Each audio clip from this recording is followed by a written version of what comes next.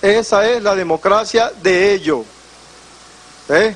Entonces, este ciudadano, José Antonio Peralta, de profesión estudiante, está siendo trasladado a Caracas, acaba de llegar y lo estamos presentando en el tribunal, someterlo a la justicia venezolana para que sea responsable del delito que cometió en contra de ese ciudadano que también puso la denuncia y que es un ciudadano que necesitaba ese equipo para subsistir, para, su, para permanecer, para vivir.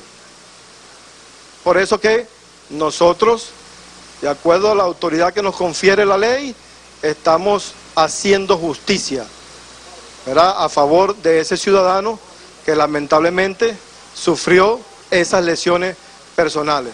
Es por eso que queremos hacer un llamado a la familia venezolana, llamado a la paz, llamado al trabajo, al estudio, a seguir impulsando el plan de la patria 2013-2019 y seguir trabajando en beneficio del pueblo venezolano.